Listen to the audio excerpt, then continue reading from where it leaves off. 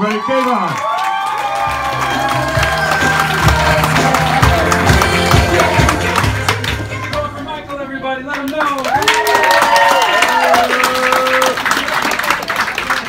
Good to be here. Good to be alive. Uh, I should address this up front. I was on a Harley Davidson motorcycle last week. Fell going 65 miles per hour. Lucky to be here. Broke my finger.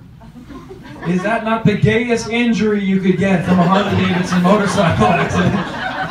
That's not even a good story, right? Harley guy's like, got a bum hip now. I'm like, I broke my finger. Isn't that horrible too? Can't even paint it for a week. That's what the doctor said. Trying to be manly, it's not working.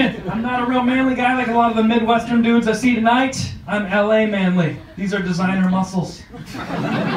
These are for looks, okay? These are not for fighting. They're not for Tai Chi. They're for chai tea. I go to Starbucks with these. That's all it is. That's what I do. That's what I do. Not worried about it. I'm excited to be a comedian because we get to help people through a tough time, like this election that just happened, huh? That's oh, right. We got a new president, Chicago.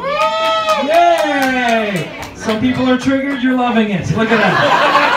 Got both sides covered. Now, some people are nervous. I'm here to help you out, guys. Don't worry. I think it'll be okay. I'm optimistic. There are a few things Donald Trump can do no other president can. I'm thinking this could be good. Day one, $19 trillion debt. Not Donald Trump. He files America for bankruptcy. How are we doing now? Yes! Take that, China. All right?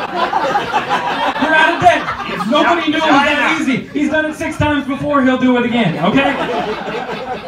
Thinking next on the agenda, he decides not to move in the White House. He's got a penthouse. We can use the White House Airbnb. More money for America. More money for America. Yes. He's got construction people. Put a wall down the middle, make it a duplex. The Obamas don't even have to move out. And now he's not evicting a black family. Better for racial relations. We're doing good. This could be good. And I'm thinking about it. Donald Trump is the only president that comes with his own jet. So now Air Force One could be used for Uber. We're gonna be profitable, people.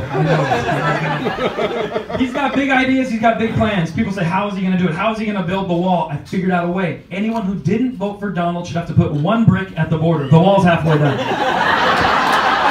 It's like 70 million bricks. More bricks than we could imagine. With the remaining portion of border, we just get the illegals who want a path to citizenship to build a five-foot section of wall. They'll do it. The wall will be done overnight. It'll circle the globe twice. Okay? It's gonna be great. And the final thing I think he'll do is upgrade the Statue of Liberty. She's not supposed to be green, you guys. You know that, right? He's gonna shine her up, make her copper again. We need to change that dress. It's old. We, have seen puts his arm further back? The more, we need, we need to give her a boob job. What are we doing with this? Why, why are we welcoming other people with a four? She could be a ten. We need. We need her to look like Melania. Let's make America great again. Just love that we can laugh together because it didn't look like this about two weeks ago. It was, it was rough. What I hated about the election is we forgot to have fun like the Olympics. Right? The Olympics happened two months ago. Nobody remembers it. Nobody remembers it. There- there- there's no. Do you remember? There's two great stories. The swimmers. That was a good one. The swimmers. One is the most winningest Olympian of all time, Michael Phelps. 29 gold medals, amazing. And then the other guy, who's known for defacing a public restroom.